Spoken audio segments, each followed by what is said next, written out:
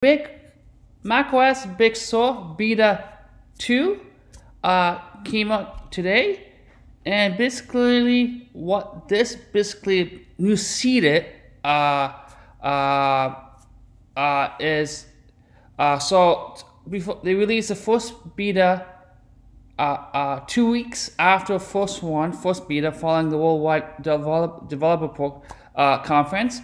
Now this is number two so this is basically um, Primary is is um, have have it could have major bugs. So so so I highly recommend uses a primary operating system just not yet. Just wait uh, when they release a, a final master uh, version to the public, and then just after that they polish it up and release it.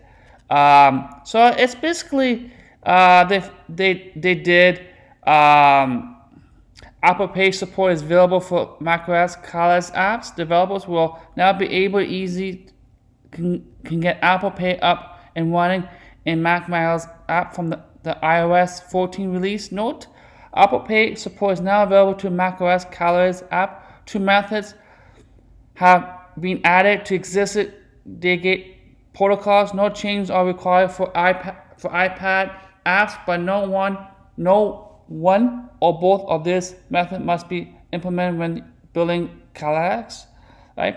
So, um, right, so in the future of macOS Big Sur, Apple Store will help users better understand privacy practices with clear info on the information that apps collecting and after install macOS Big Sur. You'll see faster updates and begin updates background and, then finish more quickly to make it easier to keep your Mac up to date.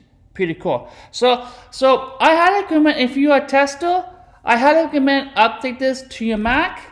Um, and it's pretty great. It's pretty great. Big Sur is going to be a big, big game changer going forward, and and it's and I have and I highly recommend update this when it comes out to the public. So, bye bye.